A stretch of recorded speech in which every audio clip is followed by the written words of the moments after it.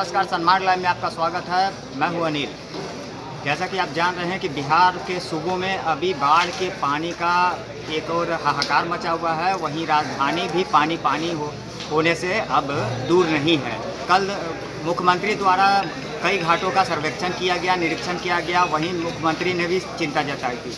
वहीं अभी हम खड़े हैं पटना के गुलबी घाट में, जहाँ का नज़ारा आप देख सकते हैं कि गंगा घाटों में बड़े पानी का स्तर कितना बढ़ गया है, जिससे शवदाह करने आए लोगों को काफ़ी परेशानियों का सामना करना पड़ रहा है।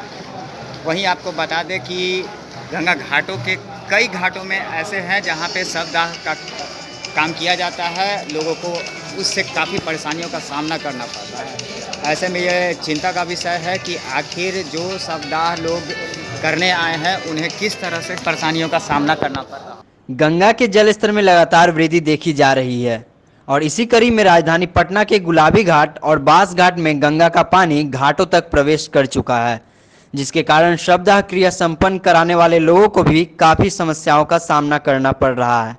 वहीं घाटों पर गंगा का पानी भर जाने के कारण लोग अपने प्रियजनों का शव विद्युत शवदाह गृह की ओर ले जाते दिख रहे हैं। अगर हम बात करें पटना की तो पटना के बास घाट पर मौजूद विद्युत शवदाह गृह का एक मशीन खराब हो चुका है, एक काम कर रहा है, जिसके कारण विद्युत शवदाह गृह में शव जलाने आए लोगों को घंटों इंतज़ार करना पड़ रहा है। लगातार हमारी खबरों से अपडेट रहने के लिए हमारे चैनल को ज़रूर सब्सक्राइब करें और बेल आइकन दबाना ना भूलें, ताकि हर छोटी बड़ी खबरों से आप रूबरू हो सकें।